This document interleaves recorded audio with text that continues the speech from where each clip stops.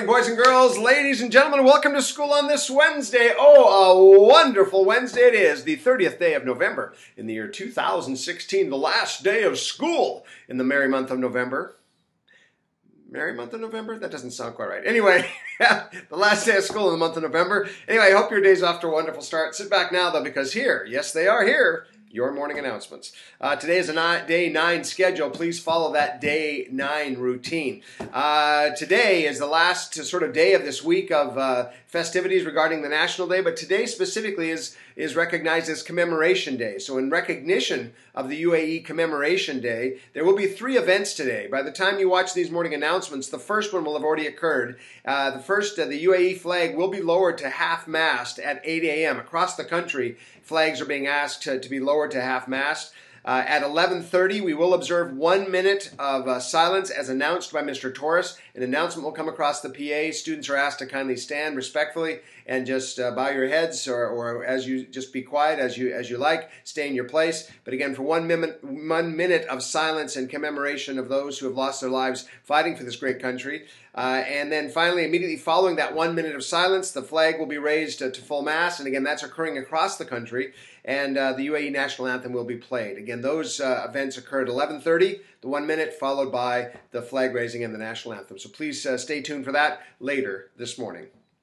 Uh, remember, there's no school tomorrow in celebration recognition of the National Day. Uh, again, so students and staff, for that matter, enjoy a three day weekend. Uh, no school tomorrow on December 1st. And welcome to December, by the way. All tennis players, all tennis players, please come to the athletics office at lunch today to collect your tennis shirt. Again, that's tennis players. Mr. Carter's office, Mr. Trotter's office at lunch today.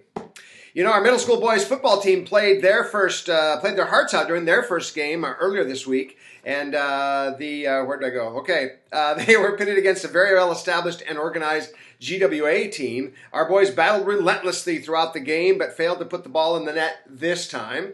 Uh, our boys took multiple positives from their performance, supported each other, and are eager to play again on Sunday with a renewed sense of eagerness. Best of luck, boys, in your next football match. Again, Attention, all Roots and Shoots um, and Million Solar Stars members, Roots and Shoots, Million Solar Stars members. We need to see you at lunchtime today for a very short five minute meeting, very short lunchtime today for some very exciting news. Please come quickly to Mr. Hall's room, number 1104. You do not need to bring your lunch, but you do need to be there. Again, that's today at lunch. Thank you very much. We're looking forward to seeing you today.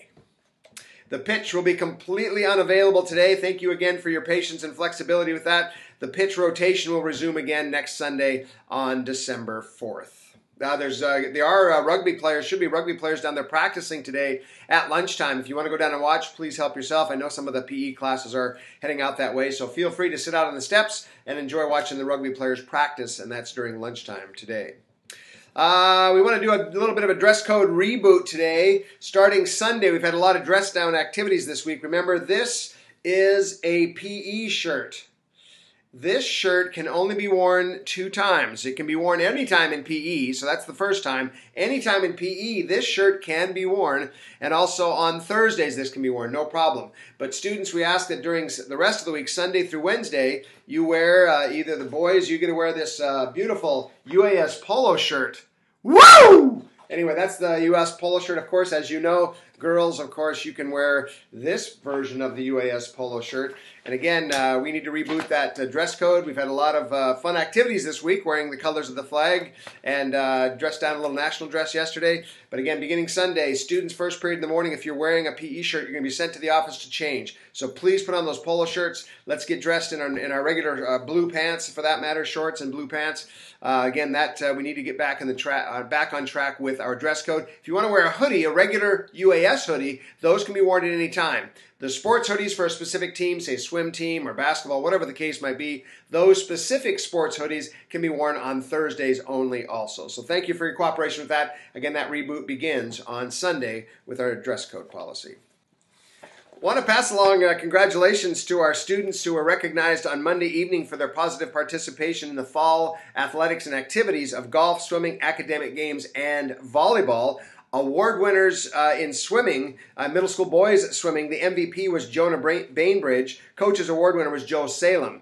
The middle school girls swimming MVP was Yasmin Rabah, and the coaches award winner in swimming girls was Amina Abdul Jalil. Middle school boys volleyball MP, MVP was Niles, and the coaches award winner was uh, Sandro. Uh, middle school girls volleyball MVP was Jade. The coaches award winner was uh, Aria.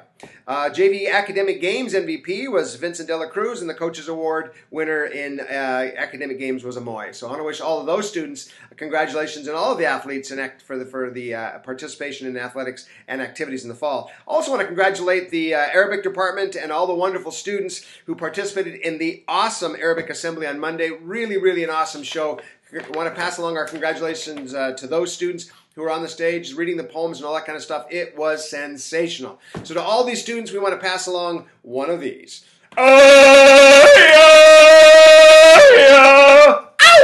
Congratulations to all of those students uh, that were in part- participating in those events. Happy birthday wishes for today. There aren't none. There ain't gonna have no birthdays today. So, but for Saturday, December 3rd, want to pass along uh, happy birthday wishes to Anud in grade 6 and Mr. Beam in the Who's the Art Teacher. So let's pass along happy birthday wishes to these students.